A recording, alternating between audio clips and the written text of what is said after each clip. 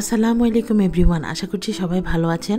আজকের ভিডিওটিতে আমি সুহার আঁকা কিছু ছবি আপনাদের সঙ্গে শেয়ার করব, যে ছবিগুলো আমাকে মুগ্ধ করেছে।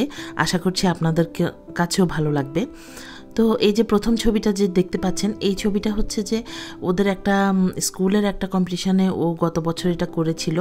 পরে এই ছবিটা সিলেক্টেড হয়েছিল এবং ম্যানহাটনে এটার এক্সিবিশন হয়েছিল আরও সিলেক্টেড অন্যান্য ছবির সঙ্গে। ওরা এক বছর ওখানে হ্যাং করে রেখেছিল, পরে এক বছর পরে হচ্ছে যে পার্সেল করে পাঠিয়ে দিয়েছে। এখানে একটা মেয়ে বই পড়ছে এবং তার মাথায় যে ক্যারেক্টারগুলো আছে, বইয়ের যে ক্যারেক্টারগুলো সেগুলোই উপরে গিজ গিজ করছে দেখতে পাচ্ছেন। মানে ওর এই আইডিয়াটা দেখে বা সব কিছু মিলিয়ে আমি তো মুগ্ধ। তো এই যে এই ছবিটা, এটা একটা নর্মাল একটা শহরের ছবি, একটা গাড়ি যাচ্ছে রাস্তা দিয়ে দুপাশে বিল্ডিংগুলো।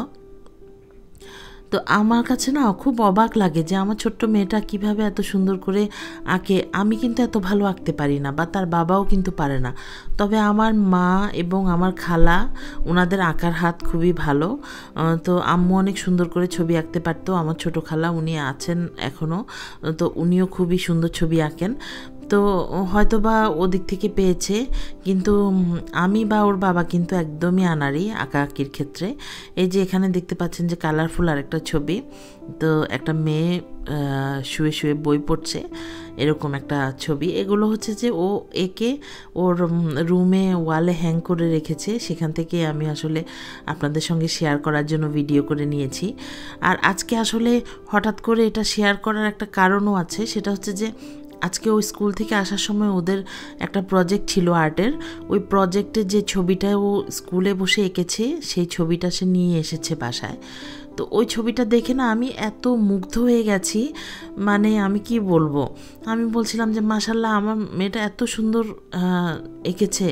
তো সেই মানে মুগ্ধতা থেকে আমি ভাবলাম যে সবার সঙ্গে আসলে শেয়ার করি। আমার যে আনন্দটা, আমার যে মুগ্ধতাটা, সেটা আমি আপনাদের সঙ্গেও শেয়ার করতে চেয়েছি। সেই জন্যেই আসলে বাকি ছবিগুলোরও ভিডিও করলাম। আপনাদের সঙ্গে শেয়ার করার জন্যে। তো আশা করছি যে আপনাদের কাছে ভালো লাগবে আর আপনারা ওর জন্য অনেক দোয়া করবেন। ও যেন অনেক মানে ভালো মানুষ হতে পারে। তো এই যে এই ছবিটা, এটা হচ্ছে একটা ডেলি স্টোরের ছবি। ডেলি স্টোর সম্পর্কে যারা আসলে বাংলাদেশে আছেন, তারা তাদের জন্য একটু বলি যে এখানে প্রতিটা ব্লকে প্রতিটা স্ট্রিটেই লেখা থাকে যে deli store D E L I deli store. তো আমি যখন প্রথম দেখেছিলাম আমেরিকায় তখন আমি ভেবেছিলাম এটা ইন্ডিয়ান কোনো স্টোর। আসলে কিন্তু তা না। এখানে হচ্ছে যে ডেইলি আমাদের যেসব জিনিসগুলো প্রয়োজন, সেগুলোই পাওয়া যায় একটু একটু করে। তো এই যে এই ছবিটার কথা আমি বলছিলাম, এটা আজকে সে স্কুল থেকে নিয়ে এসেছে এবং এই ছবি দেখে আমি মুগ্ধ হয়ে গিয়েছি। তো ওর এই যে একটা পারফিউম, একটা নেল পলিশ, তারপর একটা ক্যান্ডেল, আর হচ্ছে যে ওর এমপি থ্রি প্লেয়ার।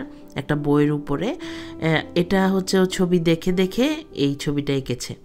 তো আশা করছি যে আজকের ভিডিওটি আপনাদের কাছে ভালো লেগেছে। আপনারা সবাই আমার মেয়ের জন্য দোয়া করবেন। আর আমার ভিডিওটি ভালো লাগলে লাইক করবেন কমেন্ট করবেন এবং শেয়ার করবেন। আজকের মতো আমি তাহলে বিদায় নিয়ে ফেলছি। আল্লাহ হাফেজ।